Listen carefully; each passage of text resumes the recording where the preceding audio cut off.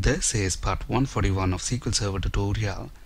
In this video, we'll discuss how to prevent SQL injection when using Dynamic SQL. In our previous video, we have implemented this search page using Dynamic SQL. To build our Dynamic SQL statements, we have used parameters. This is an example of good Dynamic SQL implementation. This code, as it stands, is immune to SQL injection.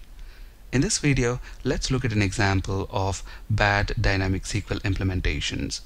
I've seen many software developers, not just the beginners, but even experienced software developers, building their dynamic SQL statements by concatenating user input values instead of using parameters without realizing that they are opening doors for SQL injection.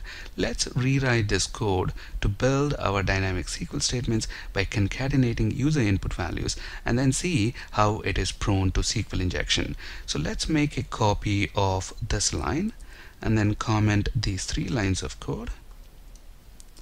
So at the moment the query we have is select star from employees where 1 equals 1 and then if the user has provided a value within the first name text box we want to append you know this condition here and first name equals instead of using the parameter here I'm going to concatenate the value the user has provided in the first name text box directly to this string so let's retrieve the value from the text box and append it to this string which is going to you know include that AND condition for us. So here we are building our dynamic SQL statements by concatenating the user input value.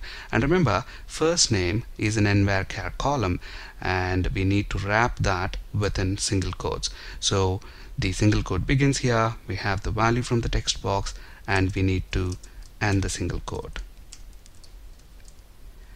and if the user has typed something into the last name gender and salary columns we need to add those as well. So let's do the same thing for those three columns as well. Comment these three conditions for last name gender and salary. And let's build those three conditions by concatenating the user input values that the user has typed into those respective text boxes one important thing to note here is that the salary column is an integer column so we don't have to wrap the salary column value within single quotes. So with these changes let's run the project by pressing ctrl F5 and see how it is prone to SQL injection. Let's also run a new SQL Server trace. I have the SQL Server profiler running already. Let's start a new trace. And let's provide a value for first name we have the marks record as expected. Now let's look at the query that's captured in SQL Server Profiler. Look at the query here. Select star from employees where 1 equals 1 and first name equals whatever value we typed in the first name text box. So here we are building our dynamic SQL statement by concatenating the values that the user has entered in the user input controls with this string. Now this is dangerous it's very easy to inject SQL using this web page. Now, imagine what's going to happen if I type something like this. If I type a single quote, what is this going to do? This is going to close this single quote that we have opened. So at that point, the query is going to be select star from employees where 1 equals 1 and first name equals an empty string and then after that technically I have any command that we want. For example we can even have something like this. Drop database sales DB notice here we have got a database called sales DB and I'm trying to drop that by injecting this SQL here drop database sales DB now if we execute this as it is now we are going to get an error because we have an unclosed single quote here but we can very easily comment that. Now look at this. When I click search button at this point we get an error unclosed quotation mark after the character string.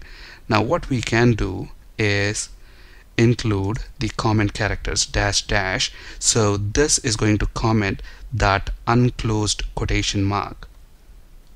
So now when we execute this look at that the command completed. And if you look at what we have captured in SQL Server Profiler look at the command here. Select star from employees where 1 equals 1 and first name equals an empty string. And then we have this command drop database sales DB and we have that single quote commented. And if you look at the object explorer here salesdb is still present but when we refresh the database folder notice salesdb is gone it's no longer there the reason we are able to inject SQL here is because of the way we have implemented this dynamic SQL. We should never ever concatenate user input values to build our dynamic SQL statements. This is an example of bad dynamic SQL implementations. On the other hand, if we use parameters to build our dynamic SQL statements, we will not have this SQL injection problem. Let's actually prove that. Let's comment this line and uncomment these three lines right here. Similarly, let's comment these three if blocks where we are concatenating user input values to build our dynamic SQL statements. And let's uncomment these three if blocks where we are using parameters to build our dynamic SQL statements. Let's run the application one more time by pressing Ctrl F5.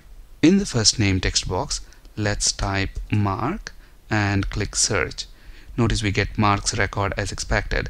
Now let's see what's captured in SQL Profiler.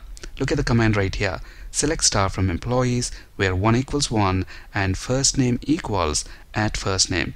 And the value for this parameter is whatever value that we have typed in the first name text box. So anything that you type into this text box is now treated as a value for at first name parameter. So this makes our code immune to SQL injection. Let's actually prove that. First let's go back to Object Explorer and let's create a new database let's call our database sales db click OK. So we have the sales DB database created here.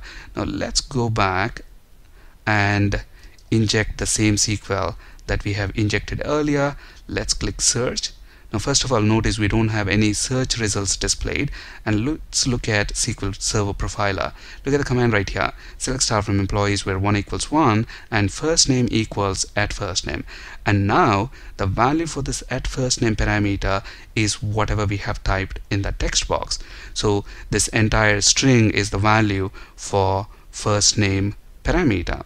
And since we don't have any employee whose first name is this, the page displays no results. But the important thing to keep in mind here is that this command drop database sales db is not executed. And as a result we didn't lose our sales db database. So if I refresh the databases folder notice we still have the sales db database we also don't have this problem of SQL injection if we are using stored procedures.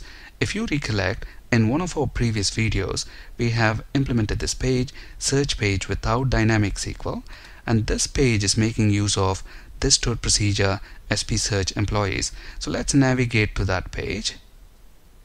The name of the page is search page without dynamic SQL, and let's inject the same SQL let's click the search button. Notice we don't get any results. And let's look at the profiler. Look at the command right here. Execute sp search employees. It has got a parameter at first name and the value for that parameter is whatever we have typed in the first name text box. And if you look at object explorer we still have our sales db so when we refresh this notice the sales db is still there. But one important thing to keep in mind is that in your stored procedure, if you are creating dynamic SQL statements by concatenating user input values, then your stored procedure is still prone to SQL injection. If this is not clear at the moment, don't worry. We'll discuss an example of this in our next video. Finally, let's quickly recap what we have discussed so far. Dynamic SQL provides great flexibility when implementing complicated logic with a lot of permutations and combinations. Always use parameters to build your dynamic SQL statements, which prevents SQL injection. Never ever rely on concatenating user input values to build your dynamic SQL statements. It opens doors for SQL injection. Stored procedures are also prone to SQL injection if you're building dynamic SQL statements inside stored procedures by concatenating user input values instead of using parameters. We'll discuss an example of this in our next video. Using parameters to build dynamic SQL statements not only prevents SQL injection but also increases performance by reusing the cached query plans. We'll discuss an example of this in a later video. And here we have the ADO.NET code where we have built our dynamic SQL statements by concatenating user input values that opened the doors for SQL injection. Thank you for listening and have a great day.